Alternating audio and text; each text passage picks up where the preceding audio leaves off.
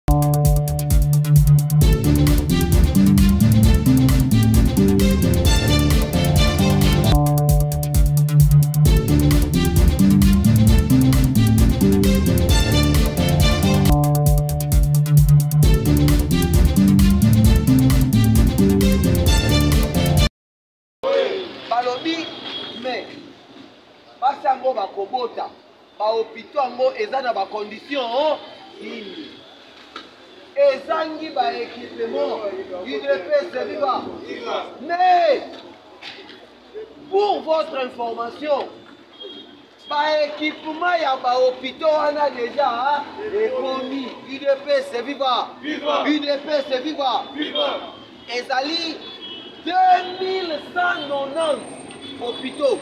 UDPS viva UDPS viva 2190 hôpitaux oyo baza kodote yango na ba matériel oyo esengeli pour que sante universelle esalama na lolenge esengeli biloko ye bomba bomba na biloko ye ya liboso 13000 lits ya hospitalisation bali ya hospitalisation eza bambetu nini bomona ntango balobi ke aza hospitalise na hôpital songolo pakala akoki kosala une semaine akoki kosala 5 jours akoki kosala 2 jours alalaka na mbetu sikoyo lelo na bambetu oyo eza na bahopito na biso bakoma kofutela yango chef kokoloka chaque jour ozolala bazofutisa yo 10 000 francs udps viva udps viva yango wana bato ebele hospitalisation esalamaka lisusu te okoyoka lobi te bokoya kosoigne wapi nzoka à l'époque ezalaka moto akoki kosala autant de jour baminganga baza kolandela ye mpo na bayeba soin na ye eza koavanse ndenge nini yango wana 13000 litres oyo eye ezali mpona 2190 hopitaux wana eza cible biloko mosusu eye odela ya bali toza na 2000 litres Pona accouchement. UDPS viva. Viva. UDPS viva. Viva. Monaki na bahopito mosusu mbetu oyo mwasi aza kobotela mbetu wana ezopesa meme bainfection Udps viva! Viva! Udps viva! Viva! Nde président olobaki non makambo ebongi echange nde toza mpe lisusu na réception ya 2000 lits mpo na accouchement kotela ya bali ya accouchement toza mpe na 2000 table d'opération udps viva! Viva!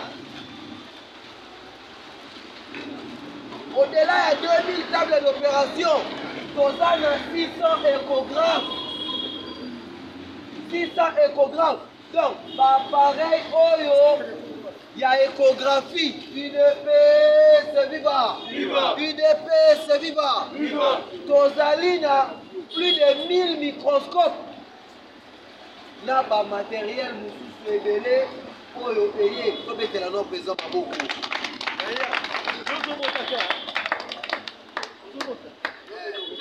idps viva nyonso wana eza mpo na nini mpo na kotalisa susi oyo président oza nango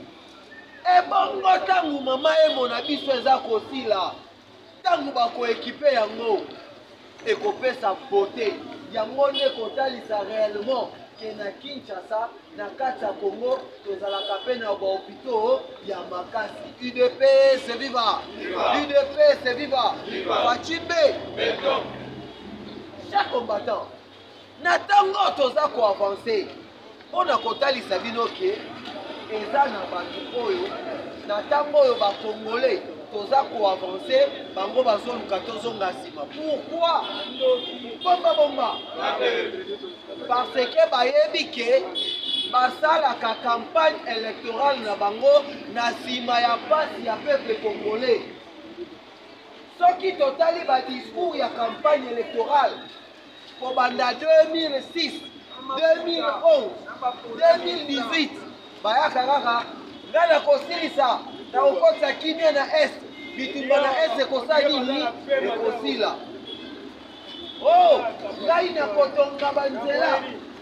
ngai na kotonga baekole une paix se viva ngai nakokanga bato oyo nyonso badetournaka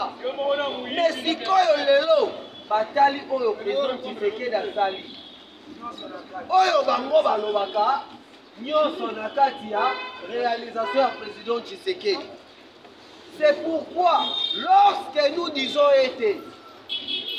bilan ya président tshisekedi eza largement positif c'est parce que ameli banyoka na bango nyonso ya campagne électorale udps viva viva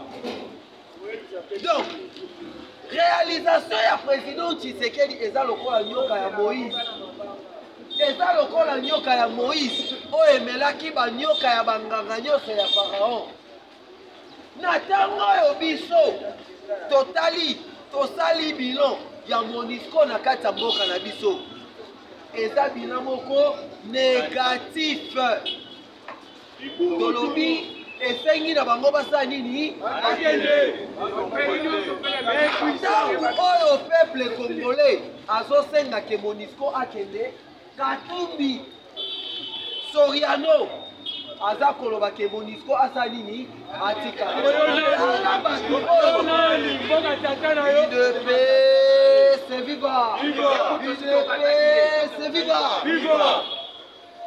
aza koloba ke monisco atikala tala bato oyo batravayaka contraire ya vision oyo peuple aza nango mpo na mboka Mais lokola na monde entier na histoire ya monde toyebi ke desizio nyonso oyo peple yazwaka esukaka kaka kosala nini kokokisama nde tomoni sikoyo conseil de sécurité balobi ok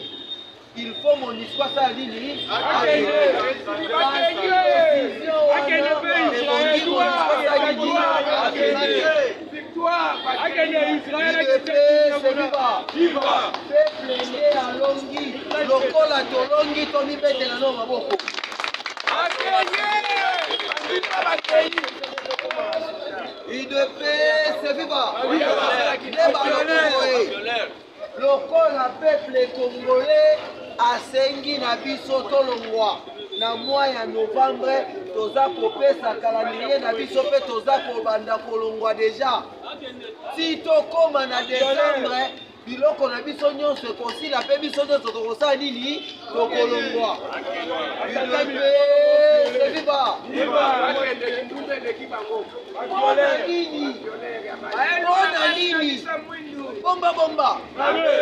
mpona nini monisco andimi sikoyo parce que ntango christophe lutundula ministre ya affaires étrangères ayebisaki bango après sommet wana assemblée générale oyo esetenaki na new york na siège na bango balobaki ke tokolongwa te me eloko nini esali ke bachange makanisi lelo mpo baloba ke toza kolongwa udps viva bavandi baza kolanda mpe na bainformation baza mpe na bato na bango sur terrain batali progression ya bandeko na biso bawazalendo udps viva mosala oyo monisco ebongaki asala nde yango bawazalendo azosala siko batali a ah, bino bozoboya kolongwa mais oyo bino ebongaki bosala bapatriote congolais bango mo baza nini sikoyo bino boza wana kaka mpo na koyiba mpona koviole idemese viva batali lisusu balobi boye epai oyo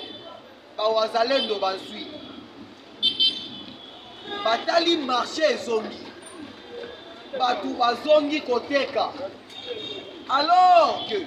ntango ezalaki na maboko ya ba M23 bato babandaki kosala mosala te. Batali ekole. Ekole esali nini? Ezongi. balobi non seke esengi na biso tosala nini tolongwa batali protection ya bacivile bango bakanisaki nini soki ba m23 balongwe ba exaction c'est-à-dire koboma ekosalama nzoka nde bato babanda koboma nkombo na bango ba m udps viva udps viva ntango basali bilan wana balobi te tozoboya na biso pamba ifo tosala nini tolongwa sikoyo bomba bomba na kati ya bwiza bwiza eza na retour parce que na minute oyo tobeta lisu lisolo ya masisi te masisi oyo james kabarebe alobaki ye na kagame ete masisi na rutshuru ezalaka ya bangoli mpo basala nini barekipere yango nayebisa bango ata lokwa chef d'état major alobi na john nunu soki oza mobali sala nini yaka soki oza vraiment mobali sala nini yaka yaka kobeta coup d'état ozokende kolobela na nsima porte john nunu aza pede idepesa John Numbi aza pede. Civil faux militaire. Aza civil. Pourquoi jamais na histoire ya monde moto alingi asala coup d'état abandi deja koloba jamais idps viva eza kolakisa ete moto azoza nini azobanga sikoyo ba m23 bomba bomba ba m23 tolobaki yango awa bazolinga balata teni ya baugandais bazwi mpe mituka ya baugandais bachange yango batia yango na coloration mpe batie signe ya eac udps viva nzoka information esekomelaki biso 4 jeep 4 jeep bazokota na esengo bazobeta kinyarwanda me na teni ya eac na teni ya baugandais bazoya bazobeta kinyarwanda balobi ok todevie bango tolekeli bango na mayele tokota zoka nde bakwei na file ya bawazalendo idps viva babomi bango lokola banyama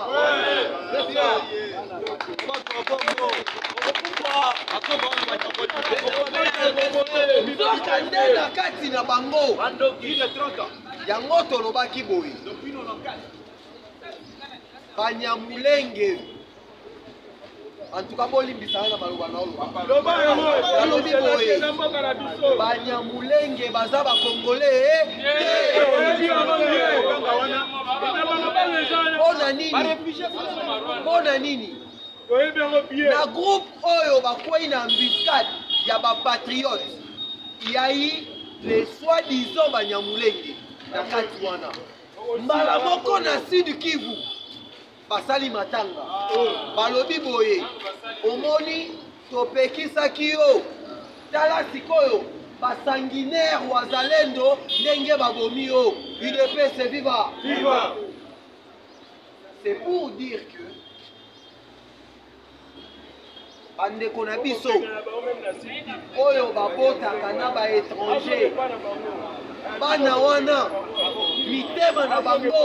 ezalaka kaka na bamboka ya batata na bango inapese viva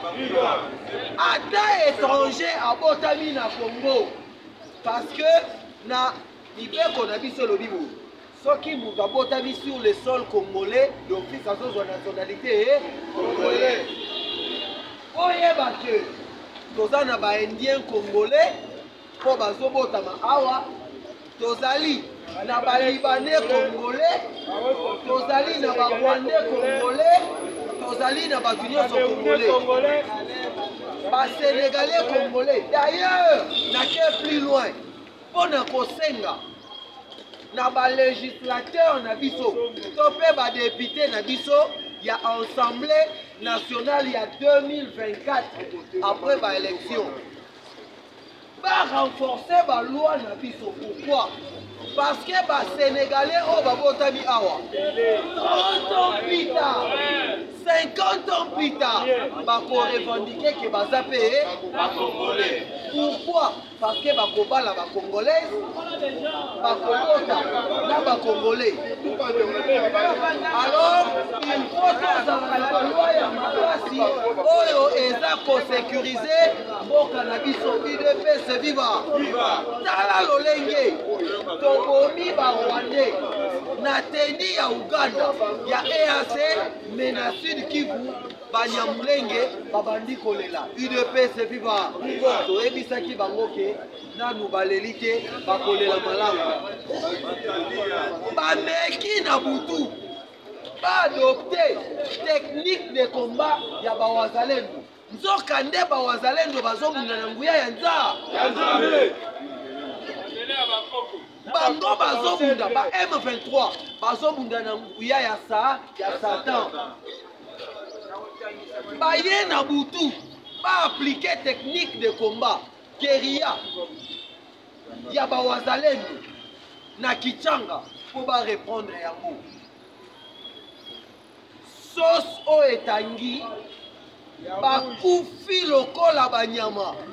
mwana na mwana tula mwisi ya sasa udps viva c'est pourquoi na baprière na biso totikaka bango na maboko ya nzambe totikaka bango na maboko ya nzambe parceke baza kobunda mpo na mboka soki otali bilan bango bakufi ata motu moko oh, te tozozwa bainformation de part et d'autre bawazalendo nanu toyoki dese na bango oh, te mais babomi plus de 1000 rwandais oyo oh, bakotaki na mabele na biso banda babandi kofula udps viva udps viva nde yango bastion ya suka Base ya suka ya ba M23 eza na Bwisa. Nde wapi epai baza ko renforcer ba position na bango. Kagame abimisi ba prisonniers na ye. Alobi ke bonatika bino bokende ko renforcer eh, ba M23. Il est pesa viva. Mpo na nini? Parce que ba famille ya ba oyo bakufi Deja bakomi ko réclamer bana na bango. UDPS viva. UDPS viva. C'est pourquoi tozala unis. Tozala unis. To soutenir président de la République. Mpo na kochite. Naza ko féliciter ministre ya intérieur Peter Kazadi. ndenge a suspendre ensemble provincial de kinshasa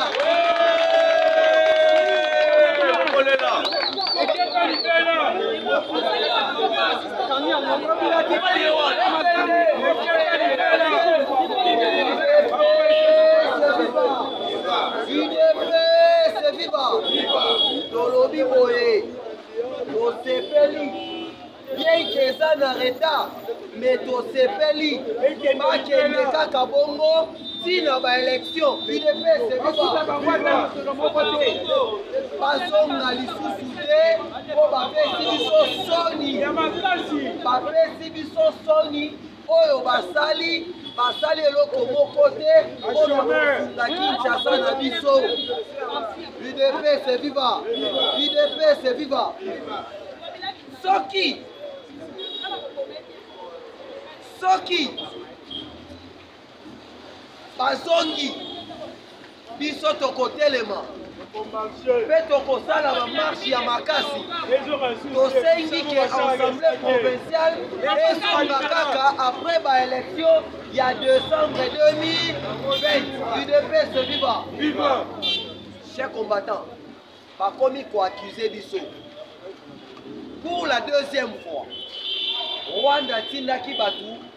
vendredi passé bakende na conseil de sécurité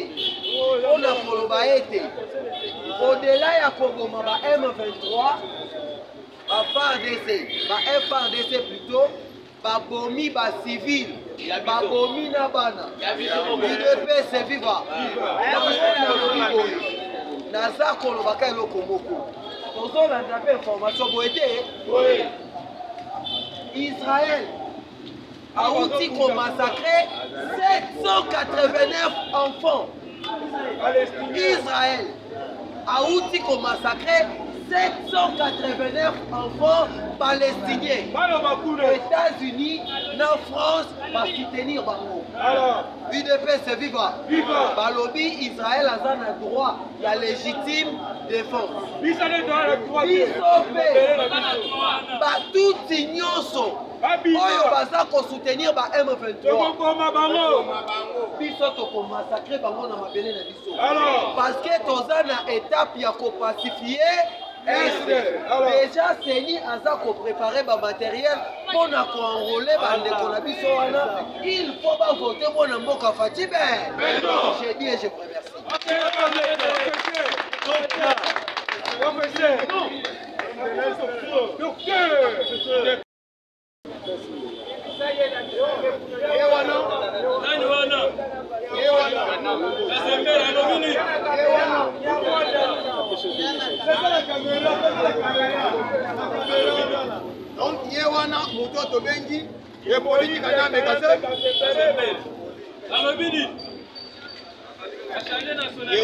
ngai nazotanga kaka nkombo na ye idepeste viva bandeko yanga papanga na yo wana tauti ya wapi omoni moto akambaki biso moto oyo akambaki biso à la tête du pays soki sepe azalaki congolais akondima te azwa bamilitaire rwandais baya koinfiltre biso akokaki kondima te asakrifie nation epai ya mboka mosusu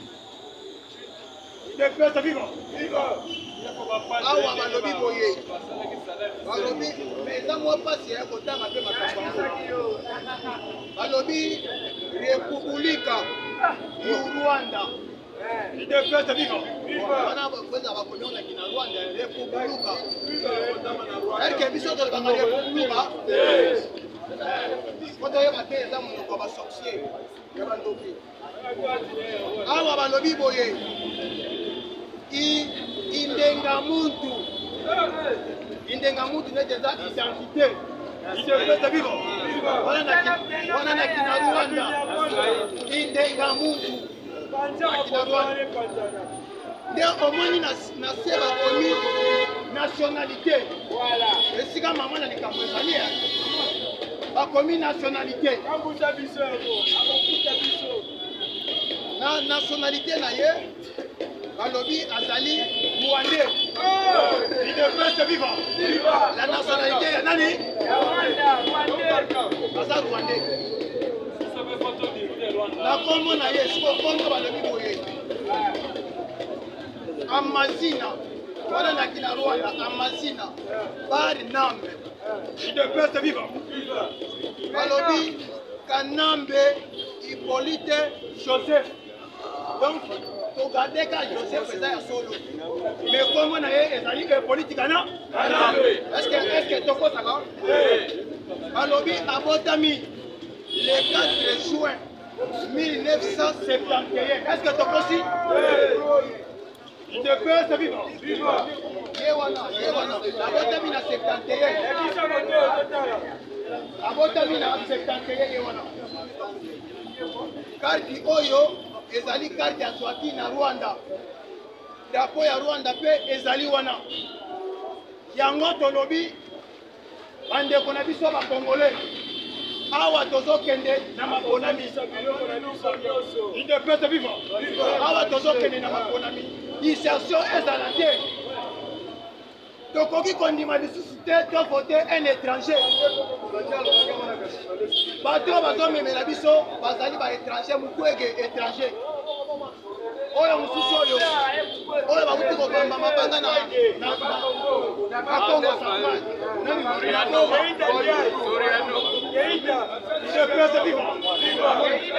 keita diang avanda na ye te ake na kongo central na boma sept personnes kaka baye kotelemela ye tere ya monene etikali vide okoyeba voilà tokoti sikoyo na kati ya masolo wana ezalaki obele flash ingeta nalakisi bongo mpo bakosaki biso tomona mama sifa tomona eh, bandeko na ye donc ezalaki nyonso lokuta Mais biso peuple faut tosusa lokuta wana. Bandeko na ngai bakongole, ngonga ebeti, ngonga ya kolibere Kongo ebeti. Depuis ce vivant, bamindele bakomprendre Les imperialistes occidentaux va comprendre que pouvoir ya Félix ezali pouvoir ya peuple congolais. Les imperialistes batali na niveau ya est ndenge peuple asomobilize na basi na mibali na bana babebe naza na bana ya ba 10 ans 7 ans awa basimbi manduki bakoti na zamba balobi mpe baza bawazalendo bapapa na bango bazobengana bango bolongwa bozonga na bandako balobi jamais po tokota na zamba tokende kofukola ba mg bapapa na bango bayebisi bango tokopesa bino manduki te Bango moko bakoti na zamba, bakati banzete. Mosusu asali nzete neti lance roquette, alati boye. Mosusu azomema lance roquette na liboso. basali na manduki ya nzete idepese viva alobi tokotisa okebongola bandoki nde bamindele batali les imperialistes balobi non non non po to s'arrete bavantique na biso te tomoni bango lobi bakotaki réunion na conseil de sécurité ya oni idps vivant idps vivant balobeli trois choses balobeli makambo ya baélection oyo tozosala awawa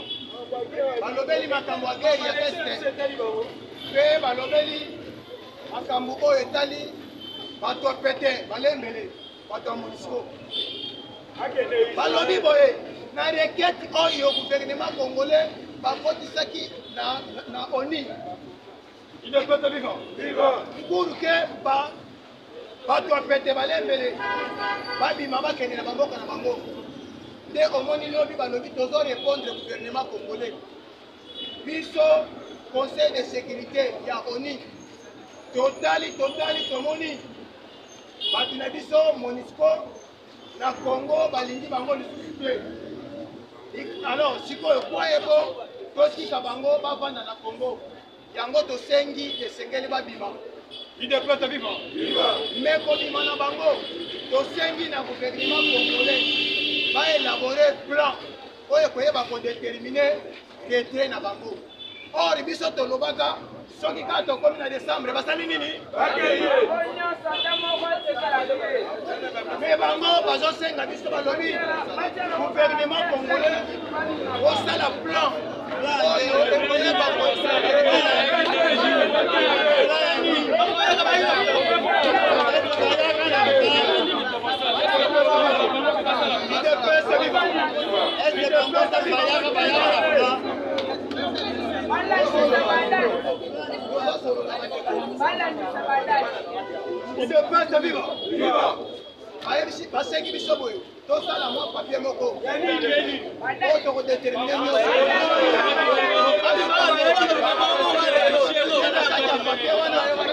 tokoloba babima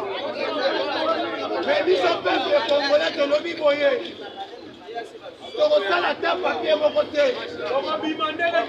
tokosala ata plan moko te soki tokomi na décembre basali nini Avant de voir le sang de Bano, bazali métier de la paix. Bazali bato oyo bazongisaka kimia esika oyo kimia ezali te me na mosala na bango biso pepe congolais tolakisi niveau ya capacité na biso tosaleli bango mosala eske bakozwa salaire il ne peut se vivre oyo osali mosala te okozwa salaire te bango mpe komi basali mosala te esengeli basala nini bakende na maboko na bango Ça c'est un yango balobi. Merci. Mais nakoyebisa bino bana mboka eza esengo makasi na befort toki asali nakosenga tobetela ata faci maboko bukotombolo po ezali befort na ye idepesa viva apres baye kolobela makambo etali bakafumu eto barwandais eh, mwa moto wana ya moke wana lobi alobaki lisusu wa ah. mwa moto ya moke wana ngungi lobi nalandi ye lobi alobaki batie mikro batuni ye eh, ngungi ngungi ngungi tolingi toyeba estce bato wana baza na rdc ba m0 bakozala kaka be bakobima alobi non non non non il faut il faut cesser de massacrer les congolais faut kotika ko koboma koboma po babima babima babima na mwa loboko yango elemba babima babima naza na video awa soko olingi na watu na yo pourkui kagame alobi boye mpo na conseil de sécurité lobi bazalaki clair balobi tout le pays oyo ezosoutenir ba m0 toyebisi bino mbala moko bosese bosese babuzoba na bino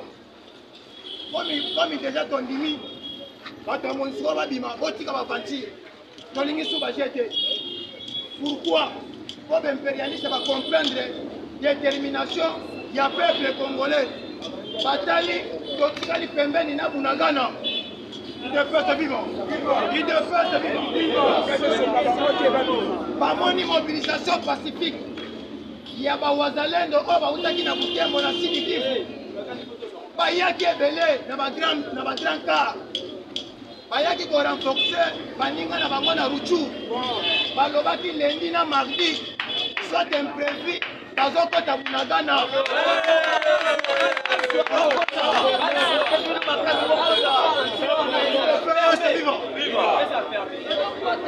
Naza na video awa. Seko oza na posa na kotindela yo. Bamataki na babeni na ba grand car. Baoki na Sidi Kivu. Bayaki ebele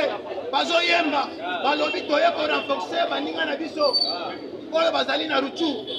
Dans deux jours après, fotomona mboka nini? Fotomona Lola. Déplace vivant. Détermination ya peuple congolais. les imperialistes batali balobi non non non fo totika buzoba oyo parceke lelo bazwi echec mpe bazwi echec te yoka sikoyo ntango kuna bapesi babimisi resolution Independence viva! Viva! Olobi, olobi nini? Ezela na suki saka. Bakoti makambo etali processus électoral. Balobi biso conseil de sécurité. Balobi boye na gouvernement congolais. Le 23 bobele bosalisa ba élection. Le 23 na délai constitutionnel. Le 20 Independence viva! Oui, le 20 décembre bosalisa ba élection. biso oni to permettre bino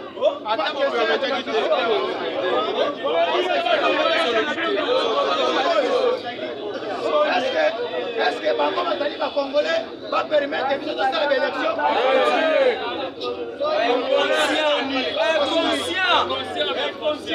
yango omoni napesaka bino message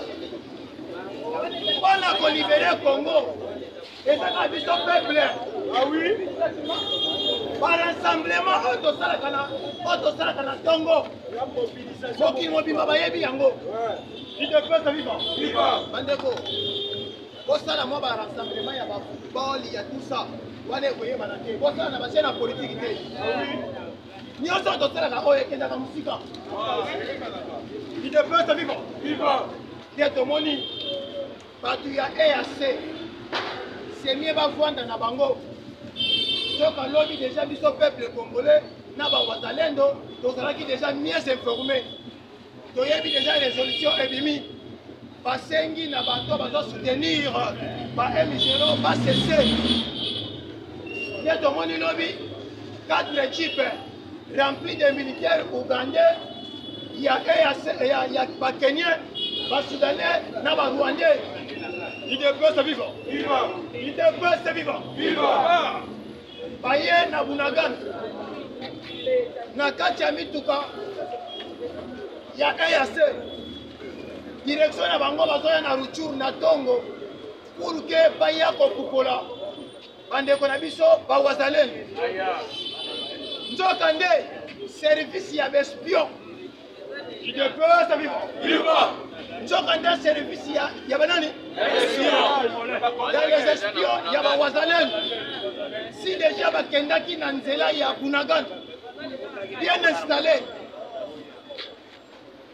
na balance roket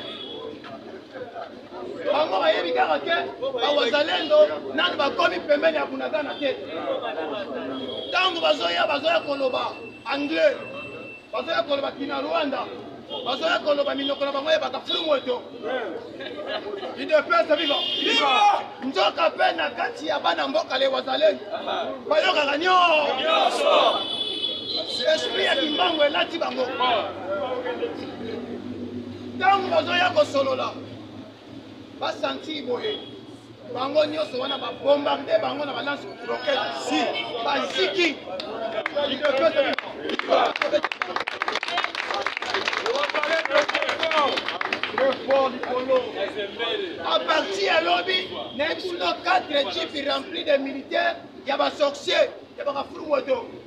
bango tu lobi babomaki bango mpe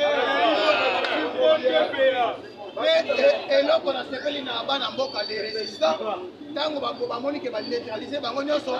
bamosusu bazopela moto bamosusu bazosala boni na bakati te batik babandone bango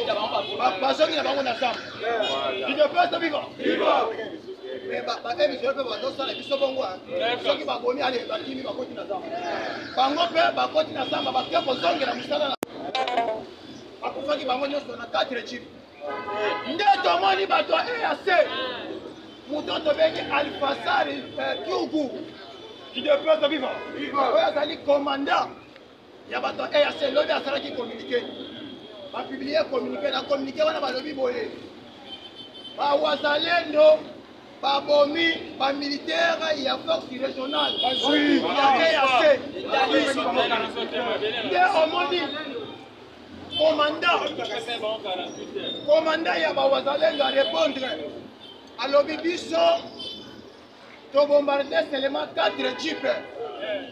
Il y a ba terroristes, il y a ba MIG. Zéro. Il de place viva. Viva. Ceux qui vont chez Tembe. Toza na manduki na bango awa. Sorti ya manduki oyo tozali ko récupérer na maboko na bango yango mpe tomoni mpe na mituka oyo.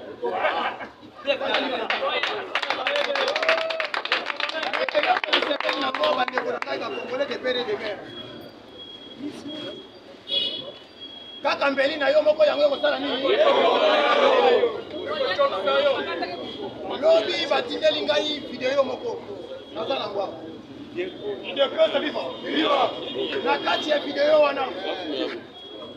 ewazalendo Les Wazalendo baye kokuta place moko suspect mabele etondi bapave mpena kitoko balobi nonono tokoleka boye te na esprit ya mokwa ntombolo na esprit ya kumukimbangu balobi fo totimola place oyo nde babandi kotimola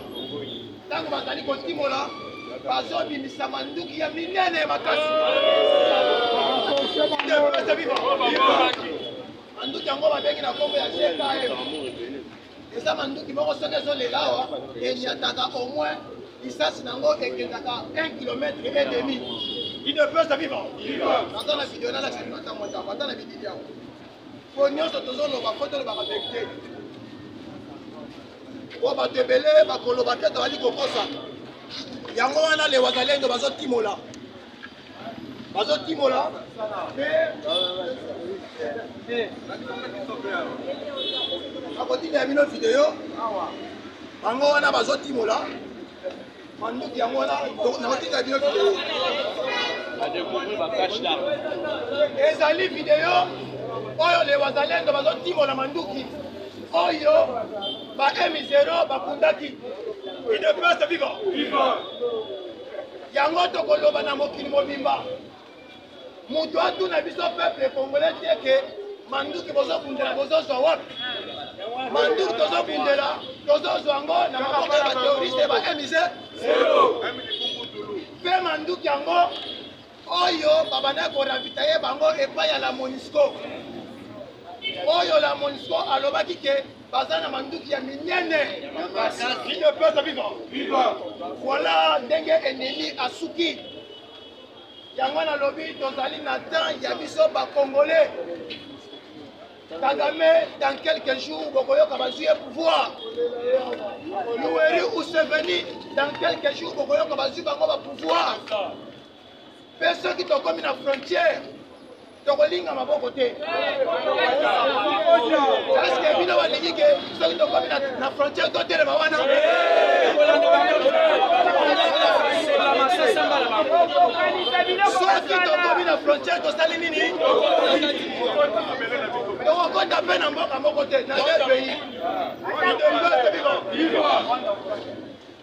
soki tokomi na frontière tokoti na ngambo oyo toke mpe na ngambo oyo paske mabe merci beaucoup numéro ezali plus 243 81 219 15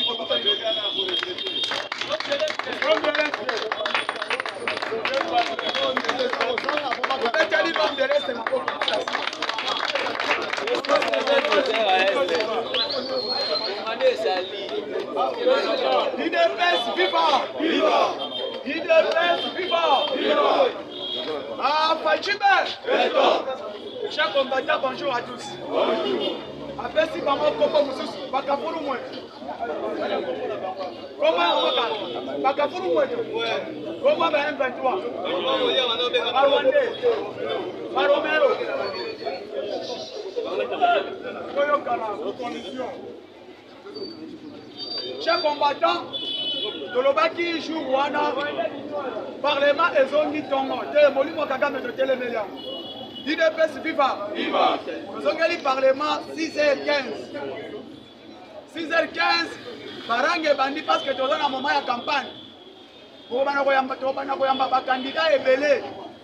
alors bakandida ep babanda koya po bakuta parlement ezongi ti na nsima ti kuna baya mpe na biloko o oh, papa towana mposa biloko wana te towana mposa topesa pati vrai majorité na kovote yo soki opostule ekozala ezali tokovote yo soki opostule no bandoki wana ya mcc fcc oyo lelo babongoli mitema bakoti na kati ya union sa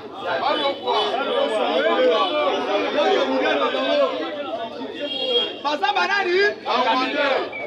bazokende combattant l'heure est grave l'heure a sonne lobi nalandi communiqué officiel ya bando ya mazembe olandi yango bino nyonso mazembe azosala marche mpo na kotelemela guvernema oyoka mazembe mazembe eza ekipe ya nani papa ya moise te moise abotia makuta mazembe mazembe eza ekipe ya mboka baer bazwa première coupe coupe d'afrique des nations moise azalaki abotamaki mpe te Moïse abotami na 65. Soki 64. Mazembe n'est pas équipe ya Moïse Katumbi. eza mpe ekipe oyo ekopesa leta congolais injonction te udps viva lelo problème ezoleka na sport na football na biso ezopesa souci na biso nyonso tu le ministère ya sport ne gère pas seulement le football mais il gère tous les disciplines sportives tolandi patrik muyaya bino boyebi bakobeta match tel jour vous écrit na gouvernement dans moins de 6 jours abimisa ba moyen babongisa stade ya maze udps viva esenga éclairage esenga bacaméra esenga batya stade en norme nyonso tout mpo na kobeta match ne soki na espérance de tini soki na nani le gouvernement aya koprendre information à la veille Pendant que ba matériel wana eyaki na francophonie, uniquement pour le stade de Mar, les martyrs de la Pentecôte. Or le stade de martyrs, les autres c'est la lumière, ba caméra, ba malpoids électronique, yenge norme internationale les engagés. Na ba entraîne nyonso ba bonisa. Soki balongoli ba matériel wana,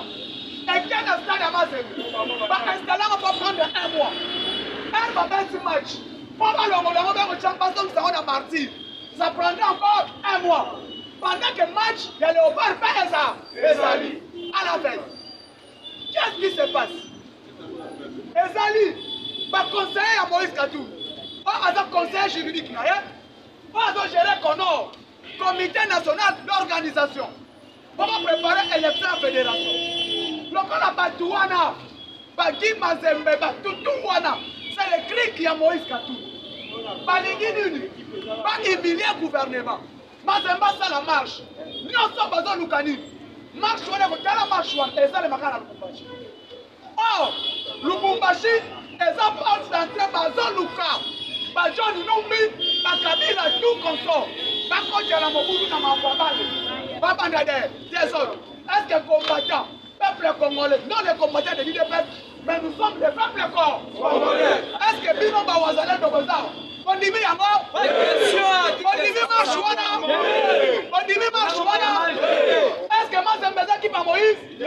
eza ekipe ya nani eza ekipe ya nini ya mboka eza ekipe ya nini tolobi clair na stade moto aorganisaka biloko wana eza ministre te ministre ela kolandela misala ndenge ezosalema tozwi neti stade martin nous avons un problème Le ministre qui Kisaro oyo aza ya infrastructure banda aclotira stade moto atonga ye deptage sima infrastructure nanu asilisi stade te mpo azwa bakli ya stade aremettre kabulo kabulo atya discipline bien siko awa bato bakomarche tokotake tokotake kabulo na point moko c'est lui qui devrait faire tout akomela ministre ya finance abimisa mbongo baorganiza élection ya fédération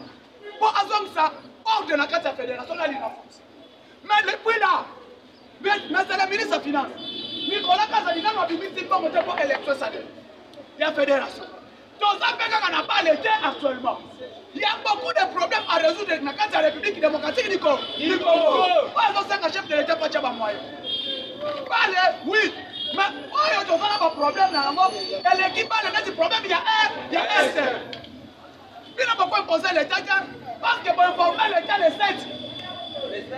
le 7 lelo oyo boyebisa biso bokobimisa mbongo bobongisa stade balingi bakosala marche bahumilie felix tshisekedi balobaka tshisekedi a lamentablement échoué na politique ya sportif toboyi ya